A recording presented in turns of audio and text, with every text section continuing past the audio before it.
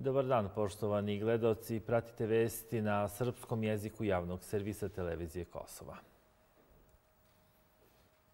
Ambasadori zemalja Kvinte nisu se obraćali medijima nakon sastanka sa kosovskim čelnicima Vjosom Osmani, Gljavkom Konjuvcom i Albinom Kurtijem povodom glasanja Srba na referendumu u nedelju dok je premijer Kosova Albin Kurti objavio nakon sastanka da će Skupština, predsjedništvo i vlada u toku dana dati zajedničko saopštenje po ovom pitanju, ne navodeći više detalja i najavio hitnu sednicu parlamenta za sutra popodne.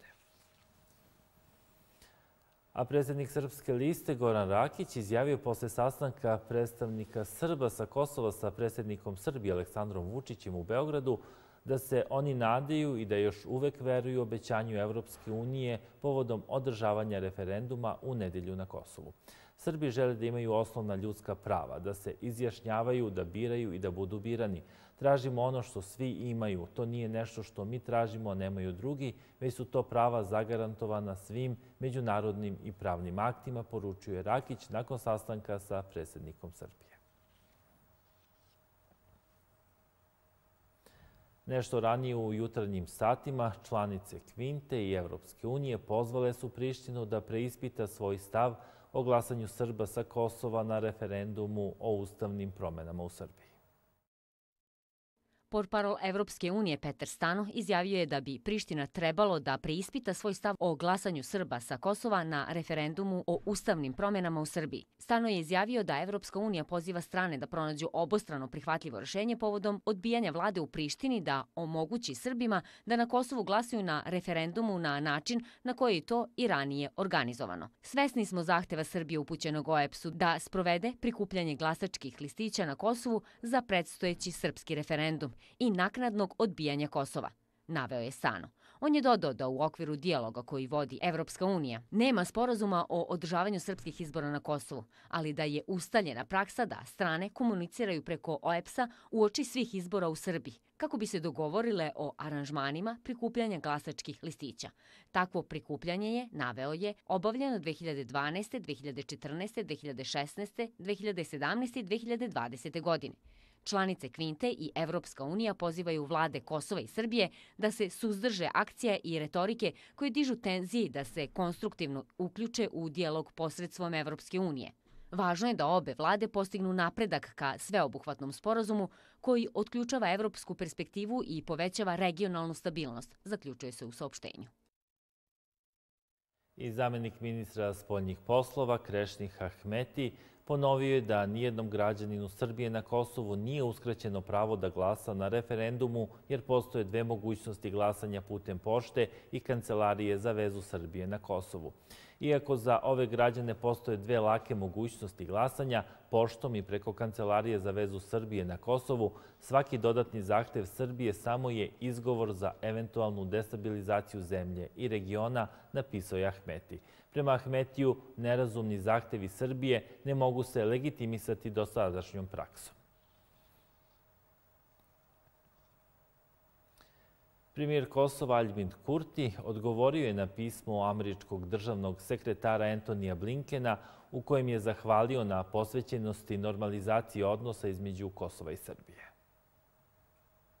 Američki državni sekretar Antoni Bliken je u pismu upućenom Kurtiju rekao da se nada da će se vratiti momentumu u procesu dijaloga između Kosova i Srbije i da će Kosovo podržati prethodne obaveze. Bliken je rekao da Sjedinjene američke države očekuju saradnju sa Kosovom u oblasti vladavine prava, zaštite prava manjina, promocije ekonomskog rasta i postizanje sporazuma između Kosova i Srbije sa fokusom na međusobno priznavanje. Pozdravljajući pismo sekretara Blinkena, premijer je putem objave na Twitteru rekao da je Kosovo zahvalno Sjedinjenim državama na njihovoj posvećenosti normalizaciji odnosa između Kosova i Srbije kroz pravno obavezujući sporazum sa konačnim ciljem međusobnog priznavanja. Pozdravljam pismo sekretara Blinkena i njegovu podršku našim prioritetima u zapošljavanju i pravosuđu. Kosovo je zahvalno Sjedinjenim državama na njihovoj posvećenosti normalizaciji odnosa Kosova i Srbije kroz pravno obavezujući sporazum sa krajnim ciljem međusobnog priznavanja. Jedva čekam da radimo zajedno, napisao je Kurti. Prijatelji i saborci Olivera Ivanovića pozvali su sve prijatelje, sugrađane, poznavaoce i poštovaoce njegovog lika i dela da se u nedelju u Severnoj Mitrovici na četvorogodišnjicu njegovog ubistva na mestu atentata i u vreme kada je ubijen u 8.15 časova okupe kako bi upalili sveće u znak sećanja. Građanska inicijativa SDP obeležit će četvorogodišnji pomen Oliveru Ivanoviću u nedelju u 10 sati na mestu ubistva, odnosno ispred sedišta ove inicijative u Severnoj Mitrovici. Iz SDP-a napominju da je period od četiri godine za porodicu, prijatelje i članstvo mučan, istrpljujući i vrlo težak i očaja, Osim podizanja optužnice, nije se maklo sa početne tačke. Šta više, specijalno tužilaštvo je znalo da ode i korak nazad, kao da svesno razlači proces i čini ga traljavim. Nema ni jednog traga izvršiocima niti nalogodavcima. Ističu da se potencijalni dokazi u vidu videosnimka kriju i ne obelodanjuju. Tužilaštvu iz Prištine ne pada na pamet da sarađuje sa istražnim organima Beograda. Nama ostaje hladna nada i neverica da će pravda pogledati i da će vinovnike ovog zločina stići zaslužena kazna. Nekome nije bilo u interesu da na prostoru Kosova beskrupulozno i sa izraženim karakterom patriotizma i pripadnosti svom narodu živi i politički deluje Oliver Ivanović. Mnogo smo izgubili. Takav gubitak se ne može nadoknaditi. Brutalno i hladnokrvno je prosuta krv velikog borca za srpski narod i pravdu, zaključuje se u saopštenju dostavljenom medijima. A u nastavku govorimo i o ostalim temama. Brojni ljubitelji zimske sezone na Kosovu, prema rečima turističkih radnika, uprkoš činjenici da epidemija koronavirusa ne posustaje, planiraju da i ove zime otputuju na omiljene inostrane destinacije. Međutim, najveći problem kosovskih građana da putuju su još uvek isti. Zakazivanje termina za dobijanje vize za zemlje koje žele da putuju. Veneta i za ove zimske sezone mi smo spremali ove zimske skijanje kao na e, Makedoniju, na Bugarsku, na Crnu Goru. E, mi samo hotele, karte i termin u ambasadu ovaj Bugarsku, ali i tu imamo probleme u Bugarskoj ambasadi, jer ljudi, na primjer, kao što oni čekaju zadnji dan, pa hoće da putuju uh, odmah, pa posle i bugarska ambasada malo nije baš uh, realna sa, sa terminima. Mhm. Jer nekom agenciju daje 50 termina koji su lažne termine, a mi koji hoćemo da radimo, onda kažu u mart koji ljudi ne mogu, ne mogu da putuju. I problem E, sa vizama i trebaju da plate oko 80 evra samo za vizu. E, siguran je od kola, siguran je za i ovaj PCR, A, za pandemiju, antigen, to je e, za jedan paket, za jednu familiju veliki kost. Ali to je to, to je problem viza i ništa drugo. I da se skine vize, ljudi bi putovali, ova pandemija svugde je, ali ljudi putuju. Evropski parlament je u martu prošle godine većinom glasova ponovio podršku liberalizaciji viza za Kosovo. Međutim, Savet Evropske unije još nije podržao sporazum, a Francuska i Holandija pominju se kao dve glavne zemlje koje blokiraju ovaj proces. Iza viznog zida je 1,8 miliona mladih na Kosovu, a naši sagovornici veruju da, imajući u vidu predsjedavanje Francuske Savetom Evropske unije, ali i brojne probleme na domaćem terenu, ne treba biti preterani optimista po ovom pitanju.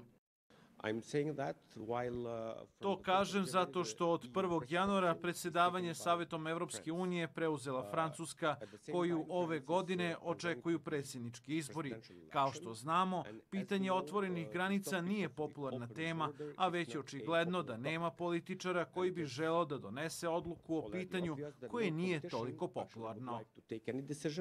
Cela ta priča oko vizne liberalizacije na Kosovu traje već nekoliko godina i bukvalno se svake godine ponavlja jedno isto i isti su i argumenti zašto do toga nije došlo, e, isti se zadaci postavljaju kosovskoj vladi za narednu godinu i da budem iskren nisam baš optimista da će se sad nešto radikalno promeniti. Građani Kosova će i 2022. godinu završiti kao jedini na Zapadnom Balkanu koji ne uživaju pravo na slobodno kretanje u šengenskom prostoru, saglasni su naši sagovornici. Uh, ne verujem da će u prvoj polovini 2022. pitanje vizne liberalizacije biti na agendi Evropske unije. Ne spadam u grupu optimista da će odluka o tome uopšte biti doneta tokom ove godine.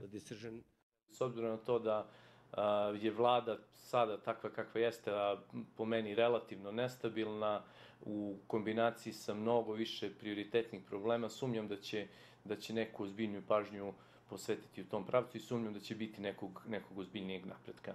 Na kraju dana to opet, opet zavisi od, od uh, nekolicine ozbiljnih međunarodnih faktora. Kosovo je svoj put ka liberalizaciji viznog režima započelo još 19. februara 2012. Evropska komisija i parlament su se 2018. godine složili da je Kosovo ispunilo dva poslednja uslova. Evropski parlament je u martu prošle godine većinom glasova ponovio podršku liberalizaciji. Međutim, Savet Evropske unije još nije podržao sporazum, a Francuska i Holandija pominju se kao dve ključne zemlje koje blokiraju ovaj proces.